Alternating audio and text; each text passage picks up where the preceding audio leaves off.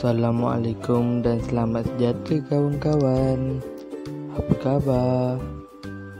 Kami dari Sekolah Menengah Kebangsaan Jalan Kota Tinggi. Sebelum memperkenalkan projek kami, kami akan perkenalkan diri sendiri.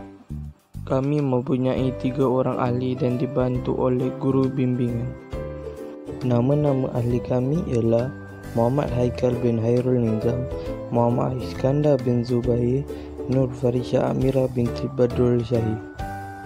Guru bimbingan kami ialah Cikgu Nur Hamiza Syahira binti Rohaizat. Ini adalah poster kami.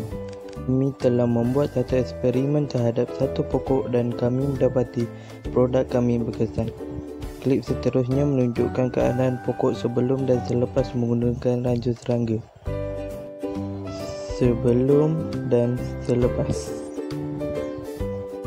Kebaikan racun serangga ini ialah kos rendah, mencegah keracunan makanan berlaku dan memberikan jaminan pada semua. Objektif pada racun serangga ini ialah pastikan sayur-sayuran ditanam dalam keadaan baik, mengelakkan pencemaran udara daripada berlaku dan mengelakkan serangga merosakkan tanaman kita. Perbezaan zat dalam racun racun tumbuhan serangga biasa. Di dalamnya terdapat piretin, perabot dan racun serangga sintetik.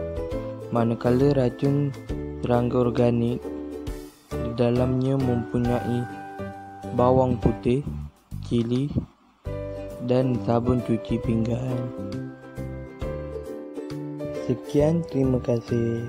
Saya memohon maaf jika terkurang atau terkasar bahasa semasa membuat video ini.